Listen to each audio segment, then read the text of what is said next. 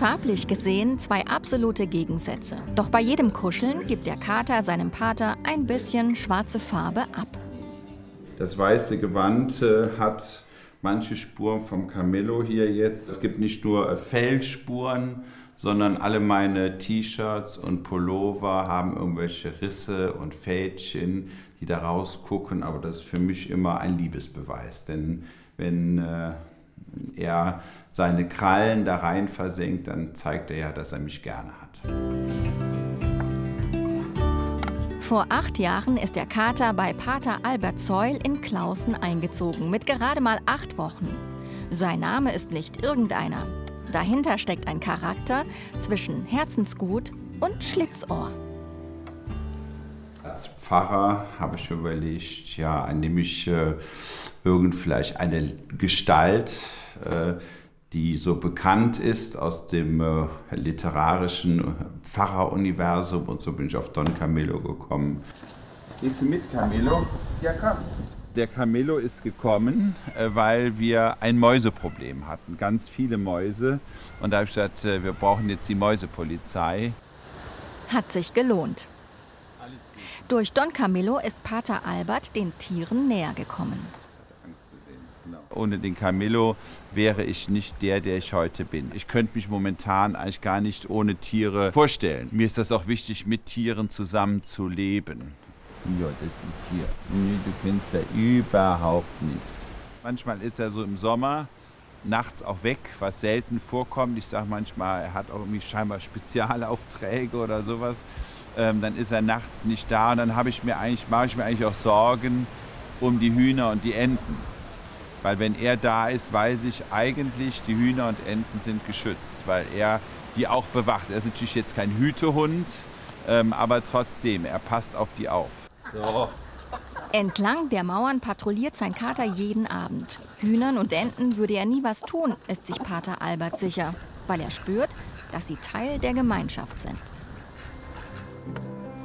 Und trotzdem hat es Don Camillo schon geschafft, seinem Besitzer einen Schrecken einzujagen. Eines Nachts geht der Alarm in der Kirche los. Der Pater wird aus dem Schlaf gerissen und schaut nach.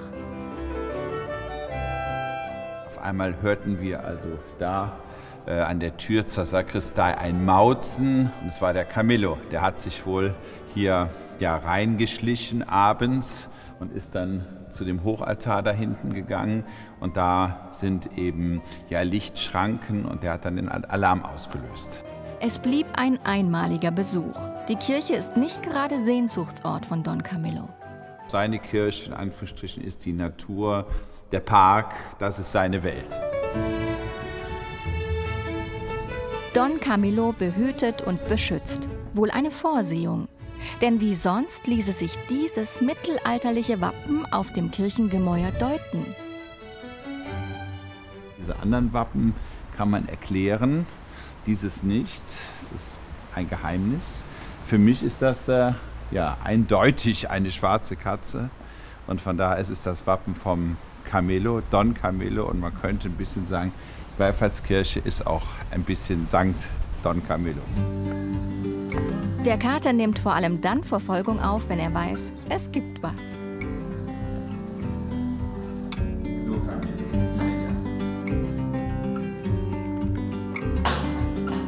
aber auch in schwierigen Runden mit dem Verwaltungsrat oder bei Beichtgesprächen hier in diesem Raum ist der Kater an der Seite des Paters.